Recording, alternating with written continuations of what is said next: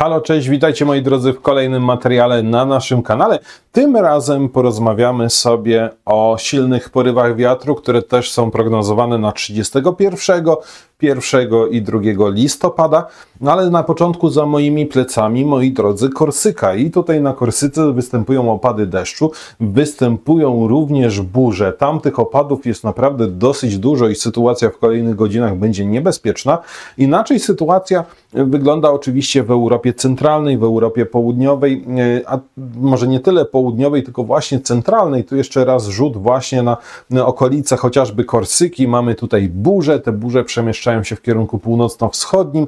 Z jednej strony one bardzo mocno by chciały jeszcze bardziej na północ się przemieścić, ale tutaj mamy wyże. Te wyże, ta blokada wyżowa nie pozwala dotrzeć opadom deszczu chociażby do Europy Środkowej, do Europy Wschodniej, do Polski. Tutaj mamy mgły, zamglenia, trochę nam gnije ten wyż, ale też z drugiej strony widzimy oczywiście niże. Niż, który znajduje się na zachód od naszych e, granic, niż całkiem dobrze rozbudowany, e, całkiem konkretny, ale to nie jeden niż. E, tutaj też kolejne nam się na północy będą tworzyły bądź będą przemieszczały. Jeden z tych niży zanurkuje, otwierając niejako drogę do, do spłynięcia e, tych niżów w kierunku Litwy, Łotwy, następnie w kierunku Rosji. A to będzie powodowało silniejsze porywy wiatru. No ale po kolei przejdźmy, moi drodzy, do e, wyliczeń, które dla Was przygotowałem. Zacznijmy od pola geopotencjału na wysokości 5,5 km na piątek 1 e, listopada i to, co tutaj właśnie widzimy, to te niże. Tak jak Wam wspominałem, one będą kłębić się jeden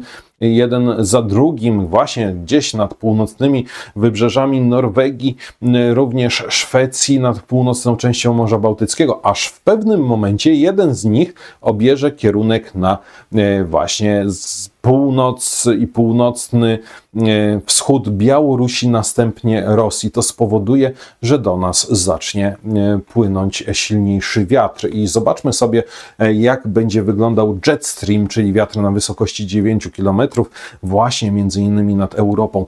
E, o ile wcześniej on był bardziej skierowany na północ, o tyle teraz, on tutaj widoczny jest kolor czerwony, zacznie się nasilać, ale ten meandr będzie powoli zbliżał się do Polski i odchylał w naszym kierunku i te niże niejako zostaną wypchnięte właśnie e, tutaj przez ten prąd strumieniowy. To spowoduje, że na wysokości już półtora kilometra będziemy mogli zauważyć silne porywy wiatru, między innymi nad Morzem Bałtyckim i nad północno-wschodnią Polską. I to jest jest bardzo istotny, e, bardzo istotna sprawa właśnie pod kątem tego wiatru. Ten wiatr będzie no, dosyć mocno tutaj dawał się we znaki. Jak mocno, to zaraz zobaczymy. Zerknijmy sobie na sytuację pogodową, jaka może być w Europie w czwartek, 31 października i tu właśnie będziemy widzieli te niże. Jeden niż, drugi niż, tam trzeci, tam czwarty i te niże zaczną coraz bardziej nurkować bliżej Polski. U nas ciśnienie zacznie mocniej spadać już właśnie w czwartek 31 października w Polsce północno-wschodniej. Tutaj już poczujemy po prostu, że te niże będą bliżej. Tu jest jedno z wyliczeń modelu Windy właśnie na 30 1 października i tu już widzimy silne porywy wiatru w Polsce północno-wschodniej do 60 bądź 70 km na godzinę i ja w tym momencie Wam pokażę, jak to widzą inne modele numeryczne. Przełączę się, moi drodzy, bezpośrednio na Windy i teraz e, w aplikacji Windy sprawdzimy sobie, jak na tą chwilę widzą te porywy wiatru wyliczenia różnych modeli numerycznych, a zacznijmy od modelu Icon, i ja pozwolę sobie przesunąć właśnie tą linię do 31 do czwartku 31 października. No i widzimy już te silniejsze porywy wiatru. Te porywy wiatru bardzo silne będą na południu Norwegii. Tutaj te porywy wiatru mogą osiągać całkiem duże prędkości. Sprawdźmy, do 140 km na godzinę. Jeśli chodzi natomiast o Polskę, to tutaj te porywy powinny być niższe. Na wybrzeżach Morza Bałtyckiego 65 do 70 km na godzinę. E, tutaj północny wschód kraju byłoby to 45 do 50 bądź 55 km na godzinę.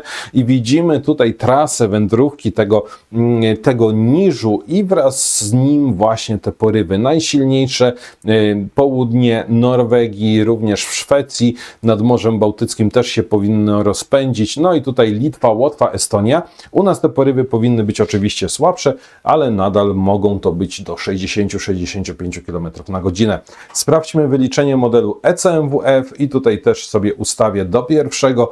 No i widzimy sytuację, moi drodzy, bardzo podobną, a więc najsilniejsze porywy wiatru znów na wybrzeżu i na otwartym morzu oraz w Polsce północno-wschodniej. W Polsce północno-wschodniej do 60-63-4 km na godzinę, na północy 60 do 65 km na godzinę i znów powyżej 100 km na godzinę możliwe nad Morzem Północnym, północna część Morza Bałtyckiego również z tak silnymi porywami wiatru, no ale już na pozostałym obszarze te porywy powinny być słabsze. Mimo tego warto zaznaczyć, że po prostu dosyć mocno powieje. I jeszcze model GFS i tu sytuacja jest dosyć podobna, aczkolwiek mocniej zaznaczoną mamy tą ścieżkę bardzo silnych porywów wiatru, tą ścieżkę, w której porywy wiatru mogą osiągać 80-85 km na godzinę, ponieważ sam niż byłby głębszy i przemieszczałby się bardziej tutaj dynamicznie właśnie w kierunku południowo-wschodnim. W tej sytuacji, w tym wyliczeniu nad Morzem Bałtyckim porywy do 70 bądź 80 km na godzinę, Polska północno-wschodnia z porywami 60 65 do 70 km na godzinę, Polska centralna 54 km na godzinę, a Polska południowo-zachodnia nie odczułaby nawet tych prędkości wiatru. Więc mając te informacje, moi drodzy, możemy przejść dalej do kolejnych e, wyliczeń, e, a tutaj już e, sprawdźmy, jaka sytuacja pogodowa będzie w Europie w sobotę 26,